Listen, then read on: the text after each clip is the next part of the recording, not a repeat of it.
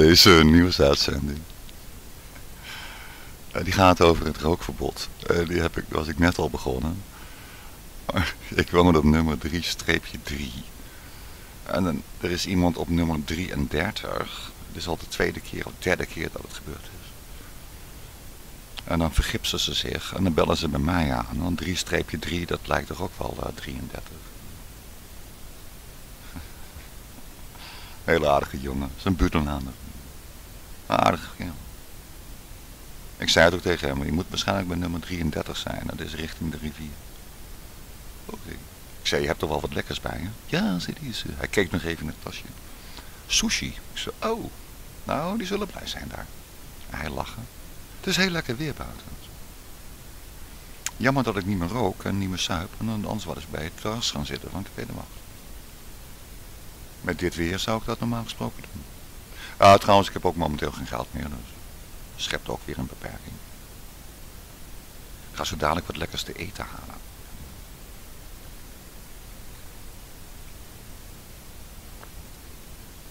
Ik ga voor mijn eigen koken vanavond. Dat lijkt me erg laat. We maken er wat van.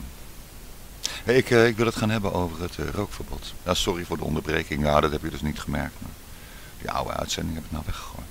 Want ik hou er niet van. Hè. Als een uitzending dan niet tot een einde komt, ga ik niet knippen en plakken.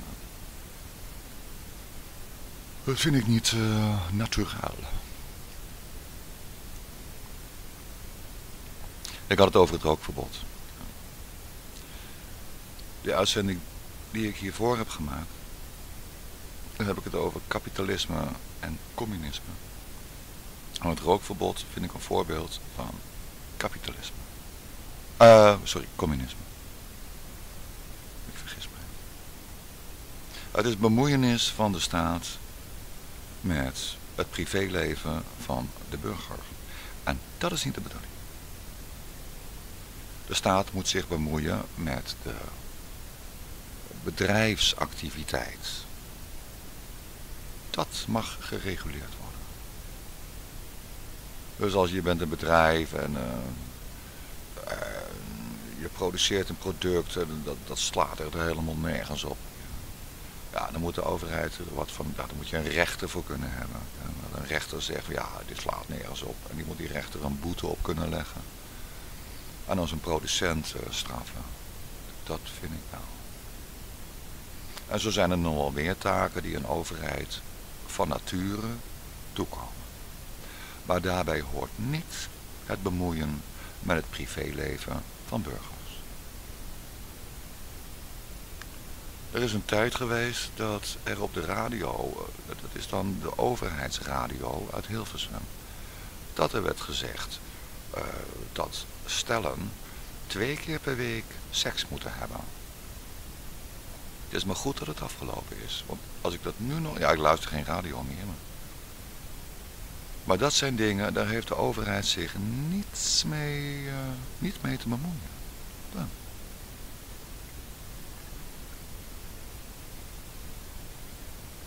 Het hoort niet. En zo zijn er wel meer dingen hoor, van de overheid waar ze zich uh, niet mee hoeven te bemoeien. Bijvoorbeeld onderwijs. Dat is geen taak van de overheid.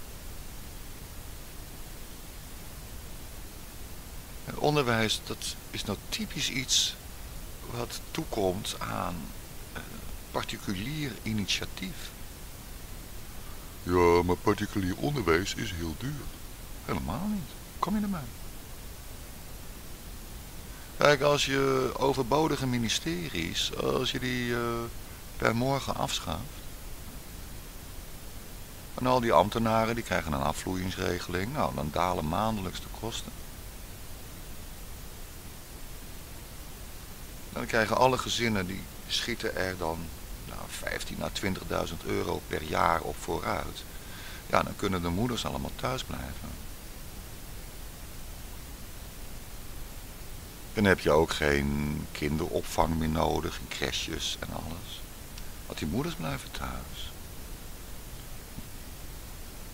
En dan kan je makkelijk rondkomen van, uh, dan kan de BTW, de hoge BTW, die kan je misschien wel helemaal afschaffen. Ook nog een keer. Het enige wat je dan doet is de, de bedrijven die worden belast over hun, netto winst. Waarbij je dan wel rekening moet houden dat bedrijven dan eh, de winst kunnen wegsluizen door de directeur uit te betalen aan 10 miljoen euro per jaar. En daar moet je een stokje voor steken. Dus een bedrijf mag het modale inkomen per medewerker aftrekken van de netto winst. Eerst heb je die bruto winst. Nou, heb je natuurlijk een kantoor, je al die dingen, die gaan dan... Je, hebt je, je hebt je omzet, en dan heb je de, directe kosten en alles, en de indirecte kosten. Je kantoor, uh, wagenpark. Dan heb je nog de loondingers. En die wordt dan, als je meer dan modaal gaat uitkeren, alleen het modale inkomen mag je aftrekken van je winst. En over wat je dan overhoudt, dat heet dan de netto winst en daarvan betaal je dus wat, 40 procent. 30.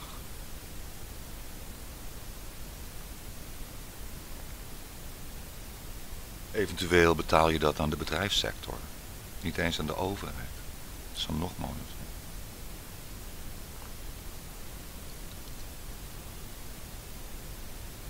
Ik ben ook voor om die belasting zo, zo kort mogelijk te betalen. Dus het helemaal een nachtmerrie is dat ze van plan zijn om de burger direct te laten betalen aan Europa. Maar dan zijn we echt ver van huis. Hoor.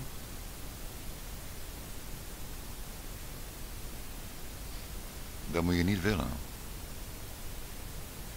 Maar een bedrijf die heeft dan een, een leuk product en dan verdient een leuk centje. En, nou. en er werken zoveel mensen, dan mag dat modale inkomen mag afgetrokken worden van de, van de, van de, omzet. Plus alle kosten mogen er vanaf. Nou, dat moet toch in de gaten gehouden worden. Dat is dan geen punt. En dan eh, wat je overhoudt, dat betaal je zoveel procent belasting over. En onderwijs, dat is helemaal niet nodig. Als die moeders thuis zijn, of als je het andersom hebt, dat, dat de vader thuis is, of uh, de moeder werkt ook, en dan is er een kindermeisje, een au pair of zo. En er is altijd wel iemand in de buurt uh, ja, die verstand heeft van wiskunde en die gaat in het buurtgebouw. Geeft hij op de woensdagmiddag wiskundeles. Ik zou dat kunnen. Geef mij je kind voor uh, twee uur in de week. moet je eens even kijken. Uh, die kan zo dadelijk beter rekenen dan jij. Die kan 35 keer 35, zegt het onmiddellijk 1225. En jij zo, hé? Hoe kan je dat nou weten? Ja. die truc leg ik zo aan. 1000 gedeeld 6, dat is 160. Ongeveer. Overrekenen, geen probleem.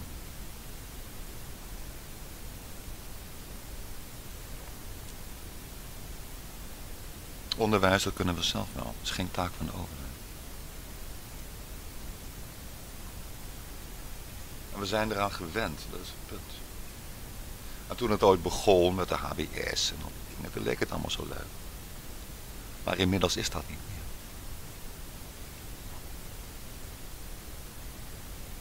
En meisjes gingen naar de huishoudschool. Nou, is dat nog meer van onzin. Door de huishouden doen, dat leert ook van je moeder. is dat nou? En kookles, dat kan er in het buurthuis gegeven worden. Komende zaterdag gaan we de meisjes leren om bavarawa te maken. Ja. Nou, dan moet jij als moeder dat kind eh, een tientje meegeven voor de ingrediënten. En dan mag je kind zich uitleven op een bavarawa.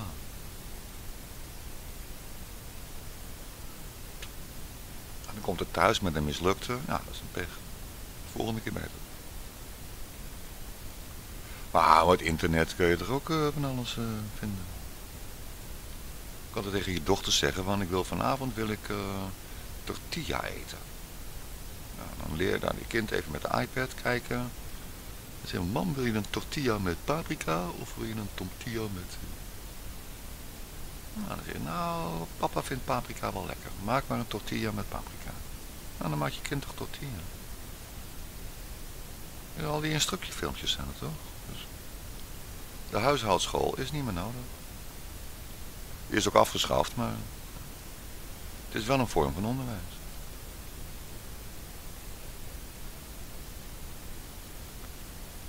De tijden zijn ernstig veranderd en de overheid is blijven steken in ouderwetse betutteling. En dat is niet leuk, snap je?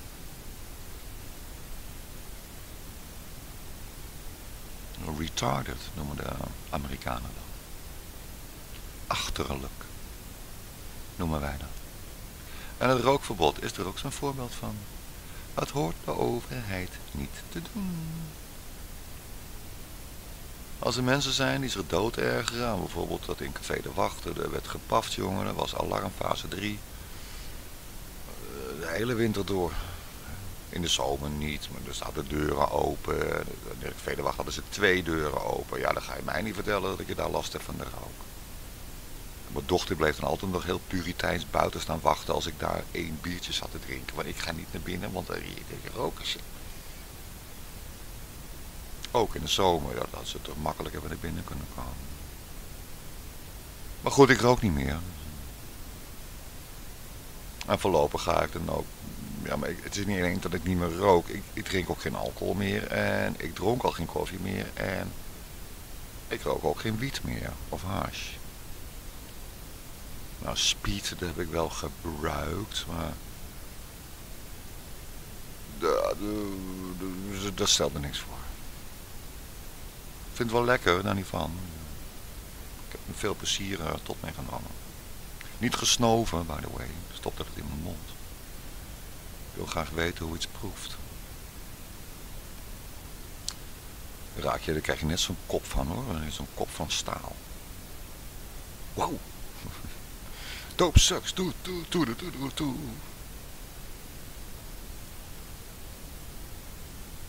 Maar speed heb ik zo weinig gebruikt.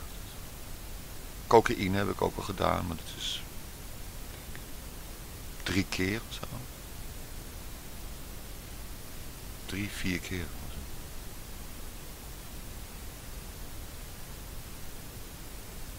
En de meeste keren dat was uh, kook aangeboden van Erik en die is nou dood. Die werkte bij de Belastingdienst. En op zichzelf helemaal te pletteren in de kroeg. Dat heeft hem een of andere kanker opgeleverd. Jammer dat hij dood is. Maar die gaf me er wel eens koop. Oh, DMT heb ik ook gedaan, maar dat was één keer. Best wel leuk, maar... Maar Oh, paddenstoelen. Dat ga ik denk ik nog wel een keer doen. Dat vind ik wel, uh, wel lekker.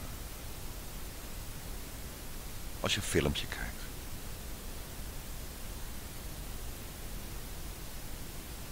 Dat viel me erg mee hoor, paddenstoelen.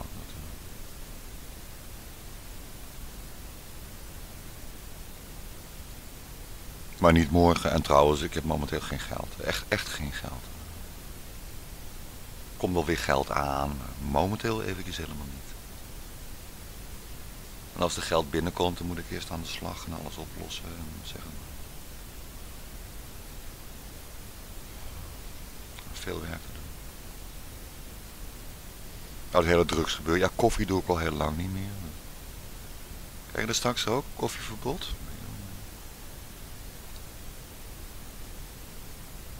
Nou, speed bijvoorbeeld. Speed is ook verboden, maar je kan het gewoon kopen hier en daar.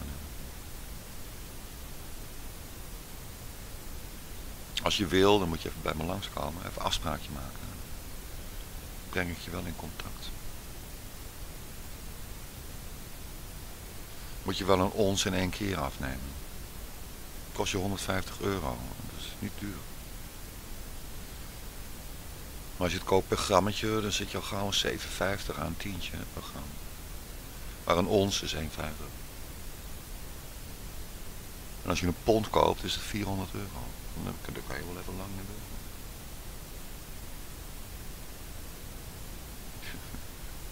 een pond speed, man. 150 dagen of zo. Nee, dan heb je 1500 dagen denk ik. Wel 1500 dagen onder Dus vier jaar of zo. Vier, vijf jaar speed heb je. Maar dat kost je dus helemaal niks. Zou zeggen, uh, vijf jaar speed, is 80 euro per jaar. En dat dan uh, gedeeld door 12. Dat is dan... Nee, het moet goedkoper zijn. Nee, je doet langer met een gram speed. Dat gaat niet in een dag er doorheen.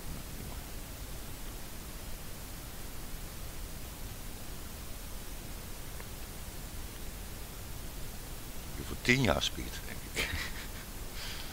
Ja, praat je over euro's per. Als je het wil. Maar ik zou het niet doen. Sodemieten. Als je dan zo heel veel speed in huis hebt, dan ga je van die speedparties houden. En dan komen allemaal van die foute vrienden komen langs. En die speeden dan allemaal mee met jou. En wat heb je er dan? En ik ben al bijna, ja ik ben 59. Dus uh, ik, ik ben niet toe aan een nieuwe uitdaging. En zeker niet op drugsterrein. Een nieuwe uitdaging qua werk, dat zou ik wel leuk vinden. Iets sociaals. Toiletten schoonmaken in een uh, gehandicapte instantie uh, dinges. Konten wassen in het bejaardenhuis. Heb je BTW aangedaan? Ga lekker stoppen met die ICT-stress toestanden. Ik heb het helemaal gehad. Echt geen biet meer aan. Wil een beetje normaal werk doen. Nou, terug naar het rookverbod. Uh, waar slaat het op?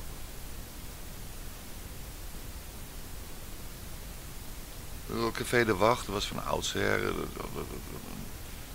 het is een VOF en die vereniging, het is een vereniging onder firmanten. Nou, die firmanten, die paffen allemaal.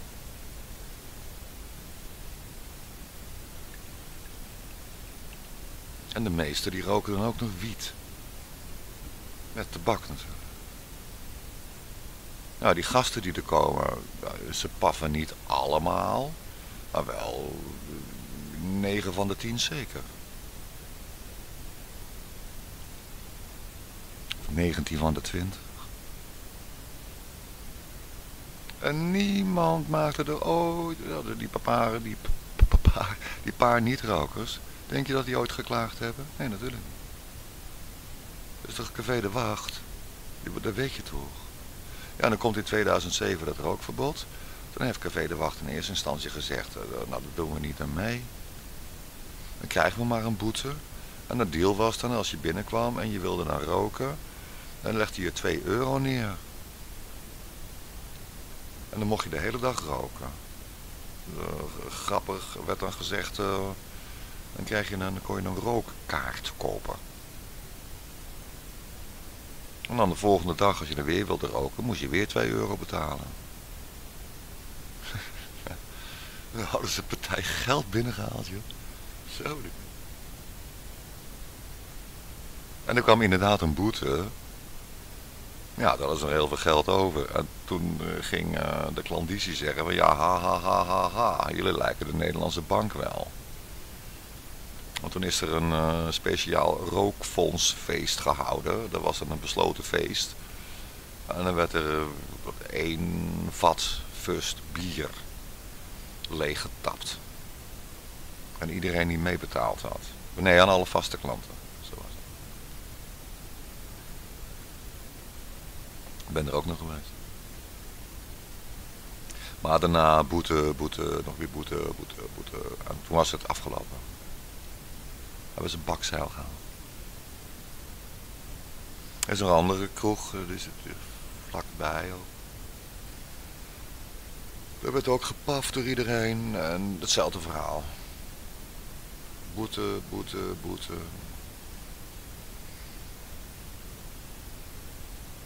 Toen is die eigenaar of die eigenaresse of die uitbater, die is ermee gestopt. Die vond het niet leuk meer.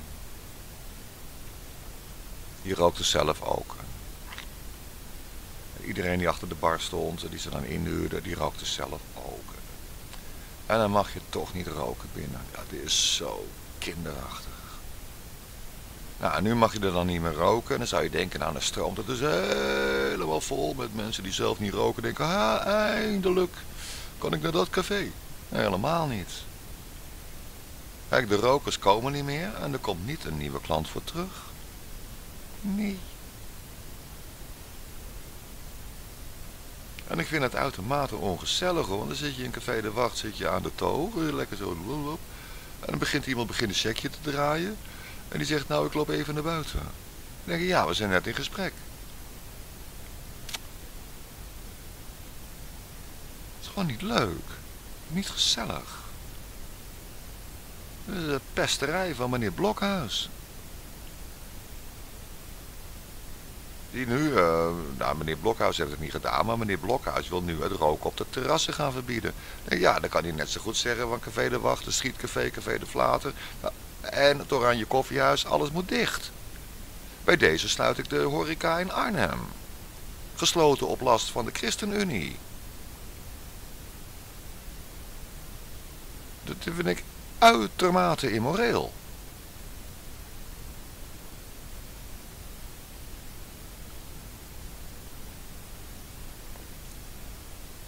Als ik even mag doordenderen, hè? Maar meneer Blokhuis is van de ChristenUnie. En ik denk dat hij eens in de week naar de kerk gaat. Ja, inderdaad. Dan mag je ook aannemen. Misschien niet elke week, maar als die kan, dan gaat meneer met zijn hele gezin naar de kerk. En op welke dag? Nou, Perry, dat weet je zelf wel.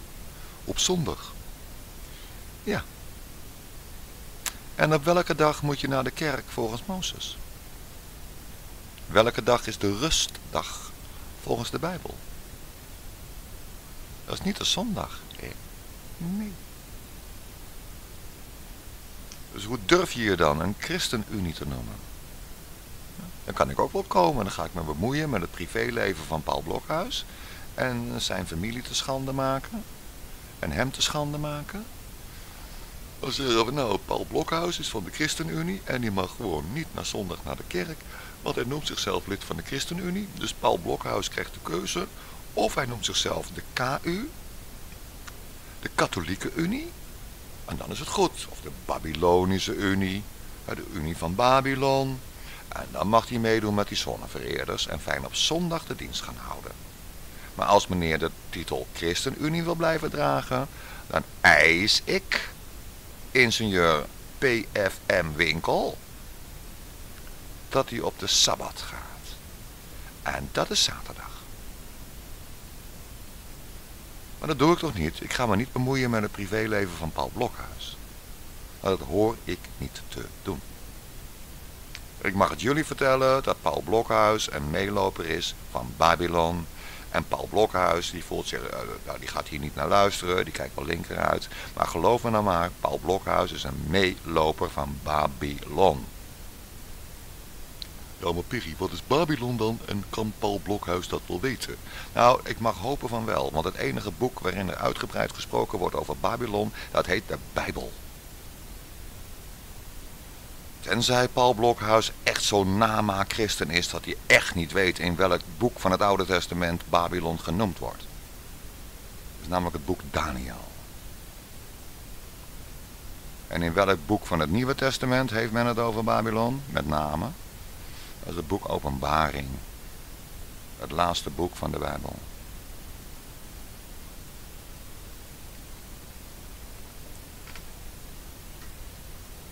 Maar ik bemoei me niet met het privéleven van meneer Blokhuis. En hij zou het ook erg op prijs stellen dat hij zich niet bemoeit met het privéleven van de Nederlander. Dat is niet zijn taak. Zeker niet als je zo'n huigelaar bent.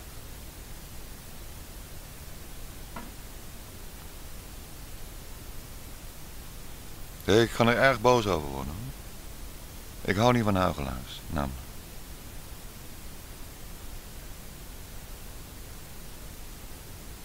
Maar dit flik je me niet.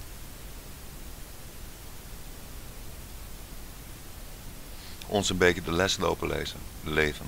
Hé, hey, lezen. De les lopen lezen. Ja. Vingertje omhoog. Ja, je mag niet meer roken op de terrassen.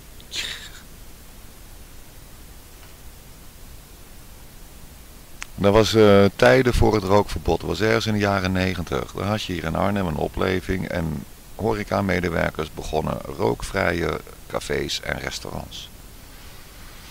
Er kwam geen hond.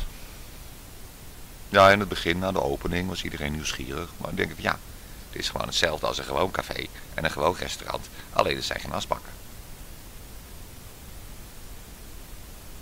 En daar heb ik mee gehad. Ja, dat is toch geen meerwaarde? En er waren genoeg cafés uh, die, ja, waar je wel mocht roken, maar ja, waar als je binnenkwam, dan rook je niet echt dat er gerookt werd. Ja, dan kan je bij Café de Wacht kon je dat niet hebben. Als je daar een vrijdagavond was en het was afgelopen, of afgevuld met, met mensen, allemaal paffen. Het stond helemaal blauw, man. Ja, dat is Café de Wacht. En nu op vrijdag? Je kan er een kanon afschieten. Er zitten wat mensen op het terras en dan als het dan oktober, november wordt, dan zitten ze daar half te vernikkelen. En dan moet de terrasverwarming aan. Ja, wat denk je wat een CO2 dat kost? Om dat terras te verwarmen. En zo dadelijk gaat hij dat ook nog verbieden.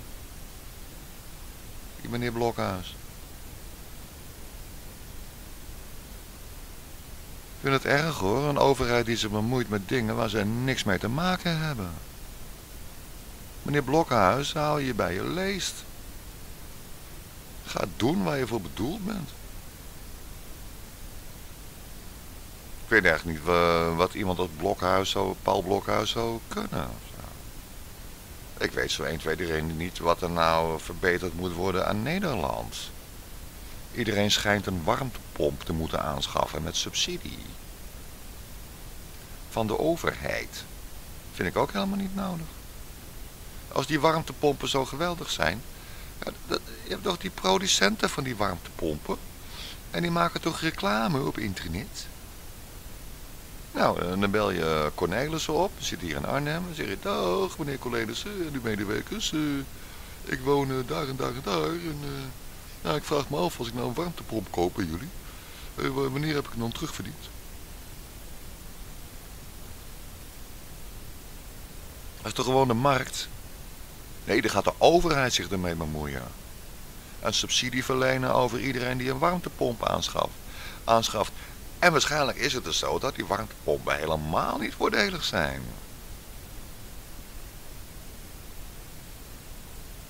Grrr. En ik heb gisteren een uitzending gehouden over de elektrische auto. Dat is ook zo'n scam.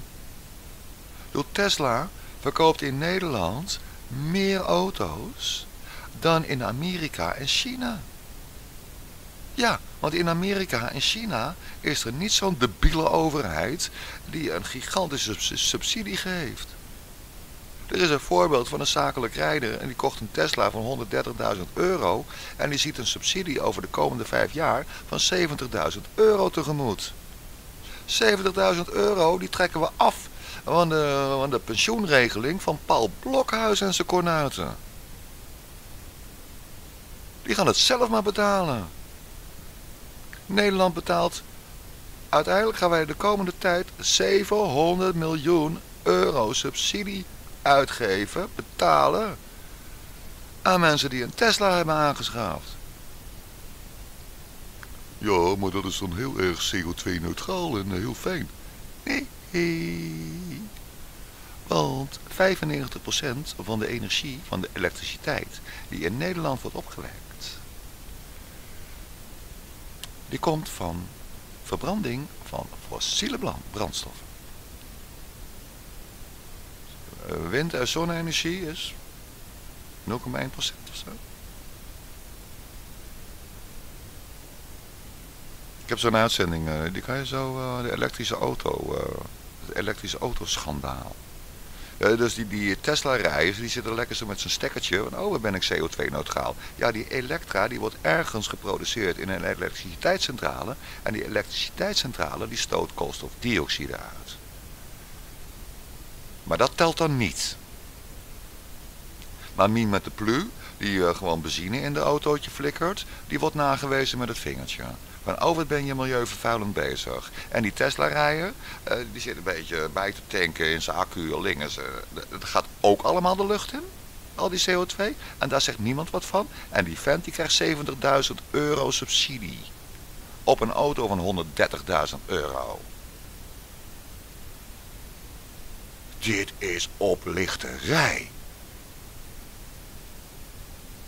Ik vraag me af hoeveel meer wandaden onze overheid moet uitvreten voordat wij de hooivorken pakken en de stokken en de stenen.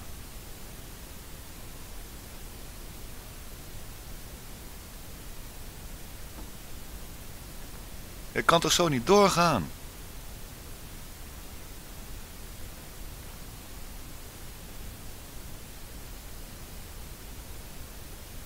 überhaupt dat wij iets hebben met een klimaatakkoord. Wat is nou het klimaatakkoord? Ik heb helemaal geen moeite met het klimaat. Jij wel. Nou, word dan lid van de anti-klimaatvereniging. En ga je daar maar een vlammend betoog houden met hoe jij denkt dat je het klimaat aan gaat pakken. Behalve dat je een plan hebt van als we nou allemaal geld stoppen in één grote pot, dan ga ik die pot wel beheren en uh, ja, dan kunnen we daarna gaan wel uh, verzinnen wat we ermee gaan doen. Ze willen ze alle woningen gasvrij maken. Ja, wat nou weer? Dan gaan alle woningen op elektra. Ja, waar komt die elektra vandaan? Oh, uh, elektriciteitscentrales. En waar werken die op? Ja, jij zegt op uh, gas en uh, kolen. Ja, precies.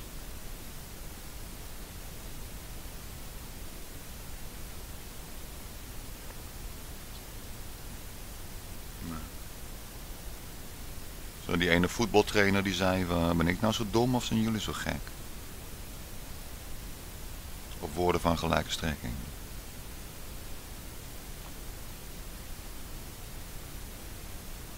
Die man zijn naam schiet me maar steeds niet te binnen.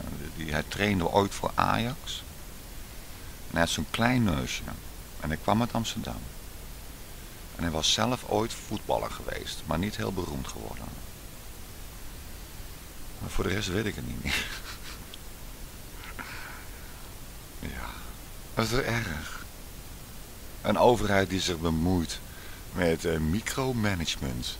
Gaan ze individuele Tesla-rijders, die gaan ze 70.000 euro op een bankrekening storten. Of in de zin van fiscale korting, dus hoeven ze minder belasting te betalen. Of zoiets. Dat moet allemaal gecontroleerd worden. Oh, dan krijg je ook nog fiscale korting kerel. Terwijl ze helemaal geen CO2 besparen. En zo'n Tesla, die accu, hoe denk je dat die accu geproduceerd wordt? Er zit toch nikkel en cadmium in? Nou. En wat doe je dan als de accu vervangen moet worden? Wat, wat doe je dan met, met die accu, die oude accu? Want die is naar de Rasmodee. Dan moet je dat nikkel gaan scheiden van het cadmium, neem ik aan. Ja, maar hoe ga je dat dan doen? Ja, met Elektra? Ja, en hoe werk je... Ho, ho, ho, ho, ho, ho, ho, ho, Ik denk dat de regering zijn van Nederland is de allermakkelijkste baan ter wereld. Want dan moet je regeren over 20 miljoen kleuters. Die echt niet kunnen narekenen. Of nadenken, die echt niet kunnen rekenen of nadenken. Ja, die kan je alles vertellen. Je, je zegt maar wat. Ook tegenwoordig zeggen ze van ja, dan moet je ingeënt worden tegen mazelen, want anders gaat iedereen dood. Dat is helemaal niet waar.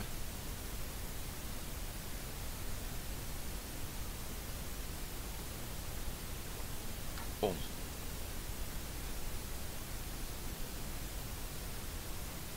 Wim Bulsink, Wim Kruidentuin, sorry. Maar Wim, maar Wim Kruidentuin.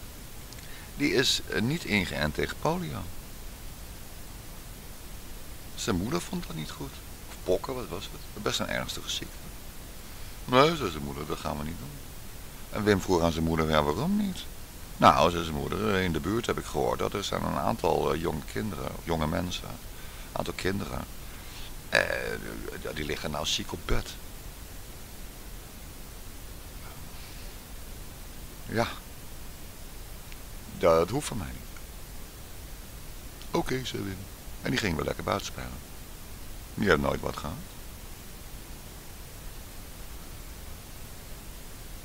Weet je dat polio, als je daaraan wordt blootgesteld, dat slechts 1 promiel een uitbraak krijgt in het lichaam. 1 promiel. 0,1 procent. En van de mensen die een uitbraak krijgen, daarvan krijgt minder dan 10% een ernstig uh, probleem op langere termijn. Dus, als je het hebt over polio, en dan moet er dus echt een, dan moet je blootgesteld zijn aan het virus. Hè? Onder de mensen die blootgesteld zijn aan het poliovirus, 99,995% niks aan de hand. Helemaal niks aan de hand. En dan gaan we iedereen, dus die hele groep van 99,995% van de mensen, die gaan we allemaal injecteren. En dat is dan uh, zonder gevolgen? Uh, ja joh. En wat blijkt dat uit? En dan de mensen die dan zeggen van, uh, dat hebben ze geconstateerd met die MMR-vaccins. dat, dat is van overheidswegen dan ook weer, hè? Dat willen ze verplicht gaan stellen. Dat is de overheid die zich bemoeit met de individuele lichamen van, van de burger. Dat bij 1 op de 10.000 gevallen, dan treedt er autisme op. Of meningitis, of whatever. En dan zegt Marco zo vrolijk, ja, dat is bij 1 op de 10.000. Dan denk ja.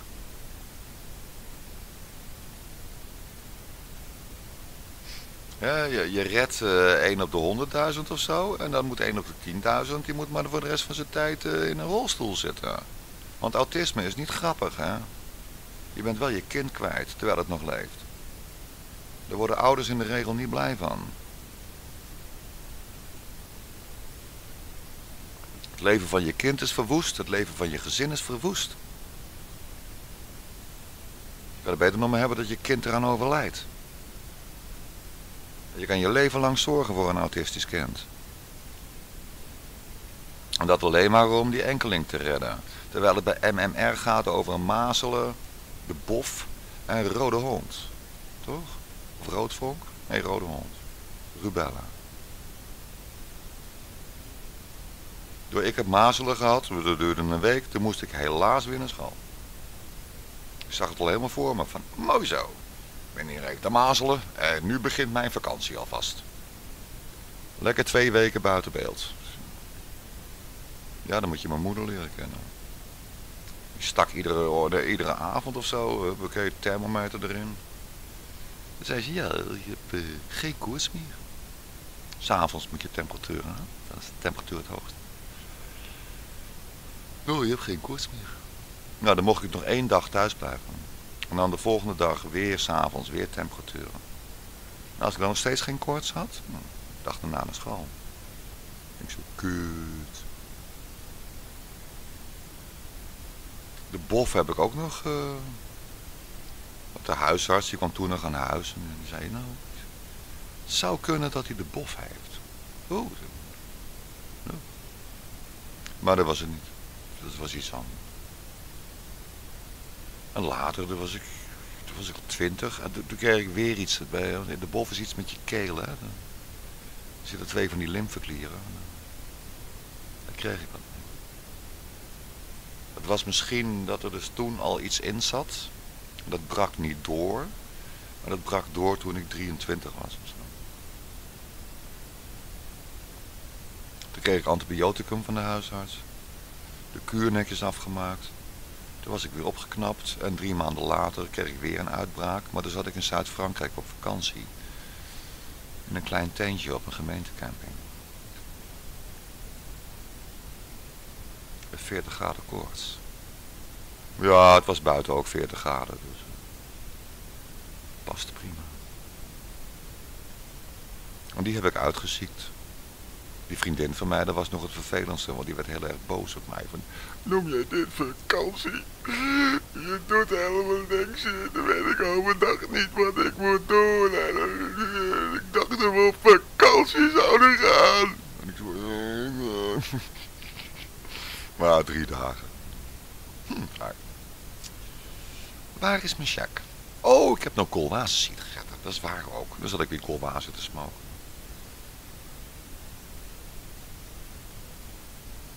Toen rookte ik nog. Ja, nou niet meer. Hè. Ik ben er helemaal mee gekapt. Niet meer roken, geen alcohol meer, geen wiet. Claro. En koffie was ik al mee gestopt. Ja. Met de bijl moet je erin gooien en al die gewoontes waar je vanaf wil. Maar dat doe ik zelf en daar heb ik niet meneer Blokhuis voor nodig. Want anders kom ik bij meneer Blokhuis langs hoor. Ga ik een protestdemonstratie houden en dan maak ik hem uit voor een volgeling van de antichrist. Omdat hij op zondag naar de kerk gaat. Dat mag niet van de Bijbel. Dat moet op zaterdag. Op Sabbateo. Ja, je bent van de Bijbel of niet. En als je niet van de Bijbel bent, dan mag je jezelf geen christen noemen, zou ik zeggen. Maar zover ga ik niet. Als iemand zoals Paul Blokhuis zijn eigen partij christen wil noemen, terwijl hij toch het gebed van Mozes met uh, voeten treedt, dan moet hij zelf maar weten. En nu weten jullie dat Paul Blokhuis, die is zo christelijk als André van Duin.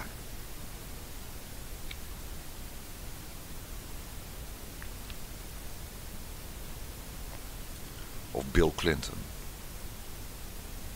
Namelijk niet. Hij moet de NCU gaan heten. De namaak ChristenUnie. Maar dan moet hij zelf maar weten. En als hij zijn partijtje de ChristenUnie wil laten noemen, moet hij zelf weten. Maar jullie weten dat hij niet christelijk is. Want hij gaat op zondag naar de kerk. En zondag, dat is van de zonneverering. En de zonneverering komt uit Babylon. En de rest heb ik al verteld. Boek Daniel, boek Openbaring. Ja, pak je Bijbel erbij. Maar dat ga ik niet doen. Moet Paul Blokhuis maar lekker zelf weten. Als hij de wetten van Mozes wil overtreden, dan moet hij dat zelf maar doen. Een beetje christen weten dat het gevaarlijke business is. En ik ga helemaal niet naar de kerk als christen, want ik zou niet weten waar dat voor nodig is. En zou ik naar de kerk gaan, ja, de protestante gemeente hier in Arnhem, die, gaan allemaal op zondag een beetje holy lopen doen. Dus ik denk dat ik die discussie maar uit de weg blijf. Ik ga dat niet de hele protestantse gemeente van Arnhem, al die hele club een beetje lopen opvoeden. Dat is niet mijn taak. Lijkt mij hoor. Ik hoorde vandaag een uitzending van Tom Frass, die Amerikaan, over dit fenomeen. En dat weet ik al een hele tijd. Toen de christenen begonnen, de christendom is begonnen in Jeruzalem, na het heengaan van onze Heer. En daar werd uh, de bijeenkomst, de rustdag, dat was de zaterdag, was de, de Sabbat. Dat is op zaterdag. Kijk maar in het Italiaans, zoek maar, ga maar naar translate.google. Doe je Nederlands en doe je zaterdag, en dan vraag je om de Italiaanse vertaling, dat is Sabadeo of zo. Dan vraag je om de Spaanse vertaling, dat is Sabanede, dat is hetzelfde. En dan heb je nog Portugees, Portugees, dat is Sabadedo. Dat is allemaal Sabbat. Zaterdag is de Sabbat. En toen kwam Babylon zich ermee bemoeien. Die namen het hele handeltje over. Want die zagen daar wel die zagen daar een dreiging in voor hun heerschappij. Ze dachten, wow, dat moeten we niet hebben. Dat moeten we overnemen. If you cannot beat them, join them. Nou, dat heeft Babylon gedaan. En die zondagsdienst geïntroduceerd. Dat is Babylon.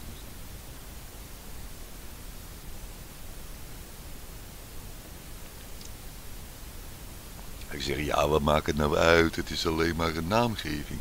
Nou, uh, zonnedag. Zonneverering. Als je me niet gelooft dat wat de ernst van de situatie is, dan moet je die film bekijken van Mel Gibson. En die heet Apocalypto. Die heb je misschien al gezien, maar kijk hem dan nog een keer. Dat is zonneverering. Ik moet ontzettend nodig een plasje gaan doen en dan ga ik wat te eten halen. Hé, hey, reuze bedankt naar het luisteren over die onzin van het rookverbod. En op zijn hamburgers zag ik tjus en dag lieverds.